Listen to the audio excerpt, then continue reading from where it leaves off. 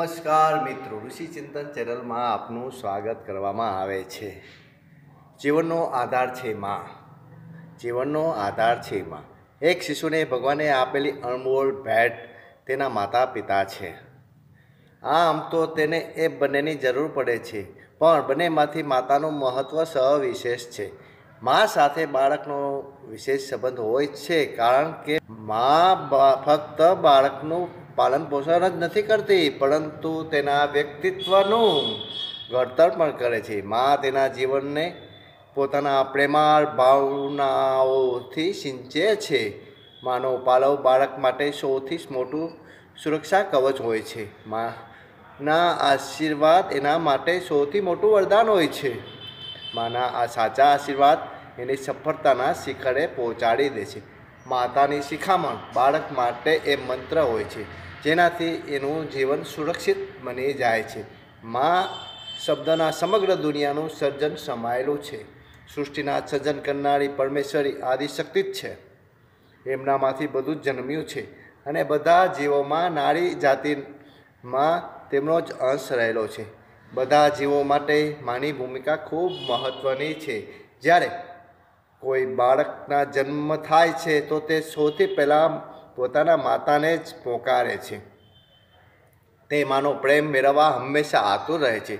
માતા પોતાના રક્તમાંથી દૂધ બનાવીને બાળકનું પોષણ કરે છે. બાળકનું અસ્તિત્વ એની માતા પર જ નિર્ભર હોય છે. મા પોતાનો બધો જ પ્રેમ પોતાના સંતાનોને આપીને તેના જીવનને સંભાળે મનુષ્ય પાસે તો વિચારવા તથા કામ કરવાની શક્તિ અને સમજ છે. પરંતુ બીજા જીવો પાસે એ સુવિધાઓ ન હોવા છતાં પણ તેઓ પોતાના બચ્ચાઓનું પાલન પોષણ ખૂબ કુશળતાપૂર્વક કરે છે. પશુઓ પોતાના બચ્ચાઓને જે પ્રેમ કરે છે અને પશુઓ પોતાના બચ્ચાઓ માટે જે રીતે આહાર તથા આવાસની વ્યવસ્થા કરે છે એને પણ અદ્ભુત જ કહી શકાય. મનુષ્યમાં જે પરિવાર હોય છે તેના આધારે જ ભાવનાઓ હોય છે. પવિત્ર તથા નિસ્વાર્થ ભાવનાથી જ પરિવાર સમૃદ્ધ બને છે. પરિવારથી સમાજનું નિર્માણ થાય છે અને સમાજથી રાષ્ટ્ર બને છે. આમ આ સમગ્ર પરિવારની ધરી તો માં જ હોય છે. માં પરિવારને બાંધી રાખે છે. તેને સંભાળે છે, સાચવે છે, સંસ્કારિક બનાવે છે. માં પરિવારને આધાર સ્તંભ છે. એક સંસ્કારિક માતા, સૌ શિક્ષકોની ગરજ સારે છે. દુનિયામાં જે મહાપુરુષો થઈ ગયા તેમને શ્રેષ્ઠ સંસ્કારો દ્વારા માએ જ મહાન બનાવ્યા છે. વિનોબા જ્યારે બાળક હતા, ત્યારે માએ તેમને તુલસીમાં દરરોજ અર્ધ્ય આપવા માટે કહેતી હતી. બાળપણમાં માતાએ આપેલી એ પવિત્ર સંસ્કારો વિનોબા ભાવેને વંદનીય મહાપુરુષ બનાવી દીધા હતા. મહાન માતાઓના કુખે જ મહાન બાળકો જન્મે છે. આથી જે માતાઓને મહાન સંતાન પ્રાપ્ત કરવાની ઈચ્છા હોય, તેમણે પોતે પણ પોતાના જીવનને પવિત્ર અને સંસ્કારવાર બનાવવું જોઈએ. ભૂમિ ફળદ્રુપ અને ઉપજાઉ હોય તો પાક સારો થાય. એ જ રીતે મહાન માતાઓ જ પોતાના સંતાનોને શ્રેષ્ઠ, ઉન્નત સંસ્કારવાળ અને મહાન બનાવી શકે છે. શિવાજી મહારાજ ચરિત્રવાન અને મહાન બન્યા. તેનું કારણ જીજાબાઈએ સિંચેલા મહાનતાના સંસ્કારો જતા. વિવેકાનંદ જગતગુરુ શંકરાચાર્ય, સંત જ્ઞાનેશ્વર, દયાનંદ સરસ્વતી વગેરે મહાપુરુષની પાછળ તેમની મહાન માતાઓનો જ ફાળો રહેલો છે. માતા જ એક એક એવી વિભૂતિ છે કે જે ઘરના વાતાવરણને પવિત્ર અને સંસ્કારવાન બનાવી શકે છે. જે ઘરમાં વાતાવરણ પવિત્ર અને ભક્તિપૂર્ણ હોય એવા ઘરોમાં જ મહાન આત્માનો જન્મ લે છે. દેવહૂતિની પવિત્રતાના કારણે જ ભગવાને એમને ત્યાં કપિલ મુનિના રૂપમાં જન્મ લીધો. આમ, મહાન માતા ભગવાન પણ પોતાને ત્યાં જન્મ લેવા માટે મજબૂર કરી શકે છે. માતા પોતાના બાળકને ફક્ત જન્મ જ નથી આપતી, તેનામાં જે સારા સંસ્કારોનું સિંચન પણ કરે છે. પરંતુ માતાએ પોતે જ જો સંસ્કારવાન ન હોય, દુરાચારી હોય, તો તેના સંતાનો પણ કુપાત્ર પાકે છે.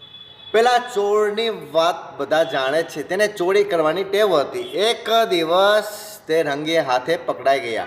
પછી તેને ફાંસીનો સજા થઈ. ફાંસી આપતા પહેલાં તેને અંતિમ ઈચ્છા વિશે તેને પૂછવામાં આવ્યું. તો તેણે પોતાની માતાને મળવાની ઈચ્છા વ્યક્ત કરી. તેની માતાને બોલાવવામાં આવી. તો પહેલાં ચોરે તેના નાકે બચકું ભરીને તેને કાપી નાખ્યું.